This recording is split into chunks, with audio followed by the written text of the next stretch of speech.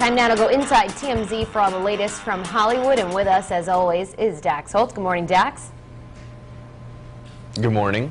Hey, so there's a network bidding war going on, not only for an interview with Casey Anthony, but also her parents. What did you guys find out?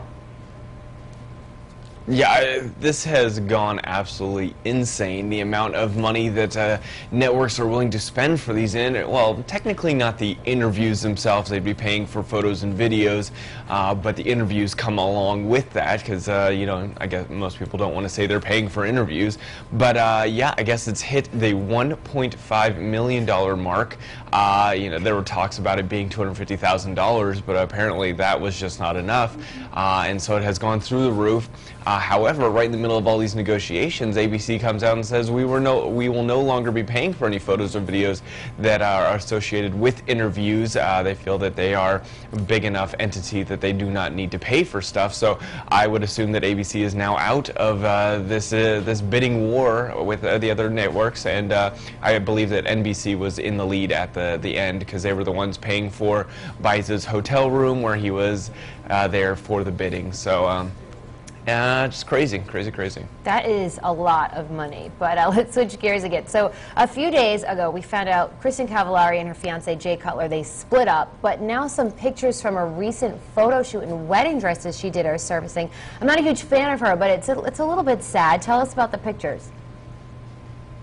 Yeah, I mean, this is just terrible timing, but the fact is uh, she did a whole photo shoot. It was spread about getting ready for the marriage, and she's being shot in all these different wedding dresses on the balcony, you know, looking very smiley and happy. And then uh, four days after the shoot, uh, her and Jay break up and call off the engagement, and you know, there's a there's a lot of things to think about. Well, you know, why would if he was breaking up with her and he knew he was going to break up, why would he let her do a photo shoot? Or was this was she the one that called this whole thing off? And why would she do a photo shoot in wedding dresses before you know she decided to walk away? So we don't really know who decided to call off this engagement, but nevertheless, it was just really bad timing for these photos. Absolutely. I wonder if they'll be printed. But uh, finally, Maria Shriver and Arnold Schwarzenegger's son was hurt last week in a boogie boarding accident, but he's out of the hospital now, right?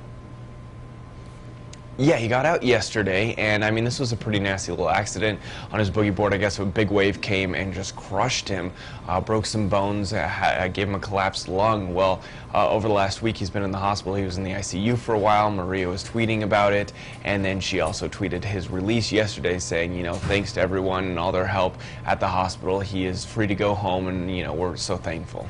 Yeah, glad to see he's doing well there for sure. They have enough on their plate. Dax, as always, thanks so much. You can catch TMZ TV right here on Fox Providence at 7 p.m. And for more information on any of these stories you heard, just head to foxprovidence.com.